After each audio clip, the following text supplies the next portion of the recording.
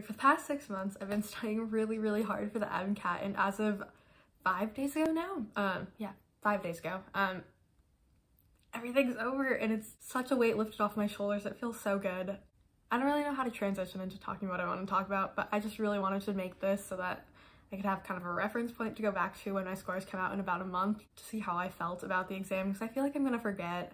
Um, but yeah, I guess the story starts with back in October, November, sometime around then when I signed up for the MCAT when I made a really stupid mistake and I signed up two days after the exam dates dropped. I thought it was gonna be fine. All of the slots in Seattle were taken and the only date that was open in the entire month of January was January 20th, which is a Thursday, in Yakima, which if you guys don't know is two and a half hours away. Yeah, two and a half hours. So um, what that looked like was on Wednesday, the 19th, I, I did all my classes for the day and then I packed up my things and I drove to Yakima and stayed in a hotel that night. which was actually kind of fun. It wasn't, it was kind of like an adventure. It felt like I was going to do something really grand and exciting, which I guess it was. I didn't have classes Thursday, so I was not really stressed about anything like that. Um, I was mostly familiarizing myself with how to get to the testing center, all of that fun stuff. But um, there was one girl at my testing center that flew all the way from Arizona because of a similar mistake, which would have been a lot more of a hassle. So I'm really, really thankful I didn't have to do that. On the day of the test, I woke up around six o'clock um, because my exam was at 8 and I wanted to be really early. I wanted to have like a good breakfast and everything. Um, so I woke up at 6, I got ready, I ate breakfast at the hotel like bottom floor where they gave free breakfast and I was on my way. The the testing center was only like a six minute drive or something so it was really low stress it was really easy when i got there the one thing that did surprise me was how tightly secure like the testing center was the second i got in they had me like scan my hand like five different times, like on each hand. I guess to make sure that I didn't have more than two hands or something. I don't know. And then they took my ID photo and um, they had me like pat down my arms and like pull out all of my pockets to make sure that I didn't have anything in them. I was wearing glasses that day, so they made me take off my glasses and they like looked at them very, very like carefully to make sure that it wasn't like some like high tech glasses situation that I could have used to cheat. It was a lot. I was not expecting that, but I guess it makes sense because it's a really expensive test and it's a really big deal, so I understand. It just took me by surprise. Not really too much else to talk about other than uh, every time I went on a break, they made me like rescan my hand and like confirm my identity with my driver's license, which was uh, time consuming to say the least, especially on like my 10 minute breaks. As for other things when I first got there, there were only four of us taking the MCAT, which was weird. I thought there were going to be so many more people um, just because of how big of an exam it was, but there were four of us taking the MCAT and there were another five or so um, that were just there for different graduate exams that they took at the same time. So that was cool. It was nice. It helped calm my nerves definitely a lot to have other people there um, just to kind of talk through we weren't allowed to like talk about the exam just kind of like get to know some people just know that they were there and that they were going to be doing the same thing as me. As far as the test went i'll just give my individual thoughts on like every individual section. Um chem phys was the first section.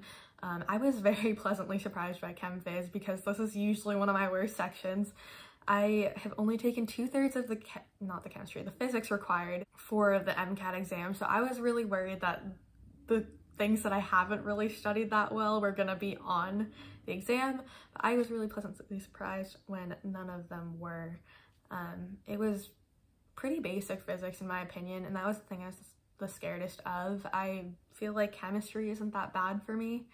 Um, and usually on chem phys i run out of time i don't know why this is the one section i run out of time on i feel like usually i'm good on all the other sections i'll and have like a good amount of time but for some reason chem phys i'm always rushing through like the last two passages but i finished with like a good three or four minutes to spare which was which never happened to me during my practice exams. So that was a high note to start the exam off on. Cars always bad always will be bad. I wasn't surprised by that. Nothing much to say. I just don't like reading. Bio biochem was as expected. I'm a bio major so it was fine, I think. And then Psych Soc, I felt like was harder than what I'd practiced on. Um, there were some terms on there that I'd never seen before. I used blueprint flashcards to kind of just memorize all the terms. I know a lot of people use Anki and a lot of people use UWorld, but I used neither of those. Yeah, I don't know, for some reason I, I felt like those were easier. Maybe it was just like the groups of terms that were on those were ones that I had seen and then these ones were just ones I didn't get to. I don't know. Um, I feel like I definitely didn't study the most effectively for psych soc because I, I don't know, I just thought it would be easy. But I was definitely a little taken aback, but it wasn't so horrible. I don't know. I'm mostly just anxious to get my score back. I really want it to come back, but I have to wait like another another month or so, something like that. So if you'd like to see how that went, stay tuned. I'll definitely have an update. I'm not really sure if I will explain how I studied. I guess it'll depend on how I did. I feel like I don't want to give like bad advice and then get my score back and then have it be like really horrible. But I do think that my standards for what score I want to get based on my practice exams are pretty like reasonable, pretty average. I'm not aiming for like a 520. I just want a good enough score to get into the schools that I want to go to. Um, so hopefully I'll get that. Hopefully I won't have to take this exam again. If I do, it'll be fine. It'll be no big deal. I know that I have a lot of time and that I'm only a junior um, and it's only January. So I, I definitely have a lot of time for this cycle or for the future if that's where I want to go with this. Um, or not want to go, but if I need to delay my application, I guess it'll be fine, I guess. But yeah, I I don't know, like if I get a bad score, should I post it online? Should I not? Uh, that's a huge dilemma, but I feel like posting this online will hold me accountable and I I'm already like thinking worst case scenario if this is really bad, like if I do share it, like hopefully people can follow me along and see how my journey goes. I don't know. Um, this is all novel and scary to me and yeah, I don't know, but that's my update. I'm really just happy to be done. I'm going to relax and work on my essays and focus on school because I have not been doing that for the last couple weeks. Um, get back into some volunteering that I stopped doing because of the MCAT. Um, and yeah, that's that's all that's up with me.